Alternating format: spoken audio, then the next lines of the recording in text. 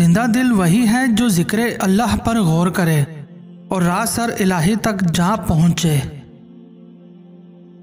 जो शख्स ज़िक्र अल्लाह से मना करता है, वो या तो मुनाफिक है या काफिर।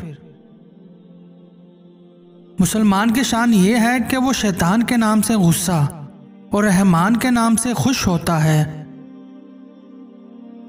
इलम सही मायनों में वही है जो बाअमल हो।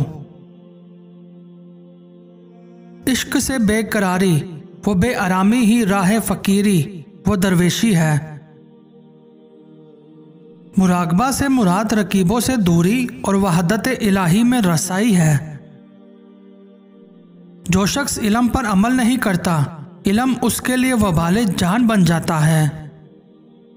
जिस जाकिर को ना महरम देखने से शर्म हया न आए, उसका ज़िक्र गलपे खास से महरूम है। मुर्शद कामिल वो है जो तालिब को इस तरह पहचाने, जिस तरह कसौटी से सोना पहचाना जाता है। फकीर वो है जो जाहिरी और कुत बातनी के पाँच गजानों का मालिक हो, लेकिन अल्लाह ताला के सिवा किसी का मोहताज ना हो। नफ्स चार चीज़ों से हलाक होता है। अव्वल खामोशी के खंजर से दोम भूख की तेज तलवार से सोम लोगों से अलहदगी अख्तियार करने से और चहारम कम सोने से।